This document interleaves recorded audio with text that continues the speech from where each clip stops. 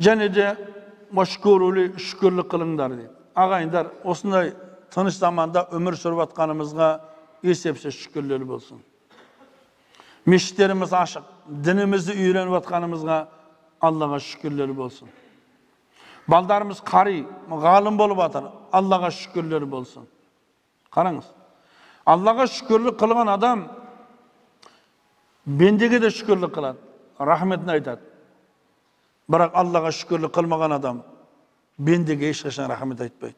Сенен не көрдім деп шығады «Хо, сенен не көрдім деп шығады? Қараңызшы.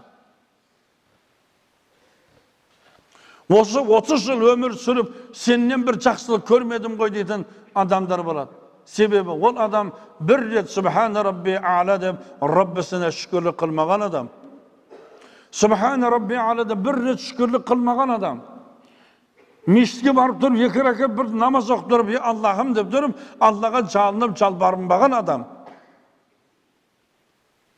біз шүкірлік қылайық біз кеше бала кезімізде атамызбен бірге осы таяқташан мешітіне келіп намаз оқитынбыз сонда атам яғни біздің үйіміз осы жерге шейін екі километр атам зікірде болып жылап келетін енді жылаған уақытында сақалдарынан сулар ағып сондай бір жылап келетін да.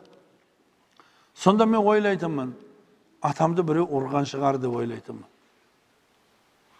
Біздің әкеміз де өте ірі адам болған өмір адам баласынан қорыққан адам емес. Өте мықты адам. Бірақ ол кісі сонда бір жылап келетін. Қараңызшы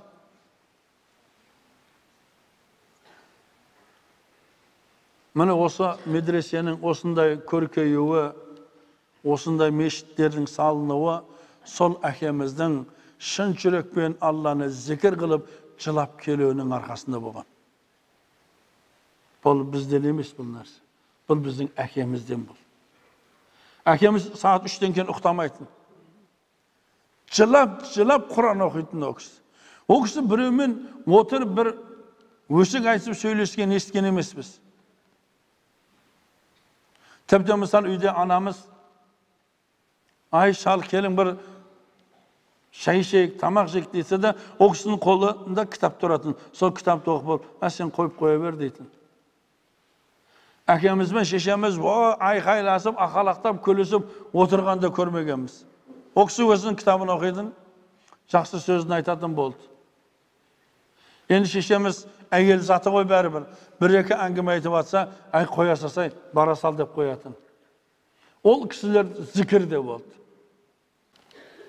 міне осы нәрсені біз көріп тұрмыз қазір осы жерде сондай әкелерден туылғанымызға шүкірлер болсын иншалла бізден де туылған ұрпақтар жақсы болу үшін ең бірінші біз өзіміз болуымыз керек жақсы болуымыз керек аллаға көптен көп шүкірлік айтуымыз керек жақсылық істеген адамға рахметіміз айтуымыз керек. Барлық адамның жақсы қасиеті болады. Бірақ біз жаман қасиеттерді іздеуге кірісіп қалғанбыз. Ол да шайтанға құл болуымыздың бір себебі. Әйтеуір біреудің сол жамандық бір жерін ұстап алсақ дүниеде ешбір адам періште емес. Барлық адамның айыбы болады күнәсі болады.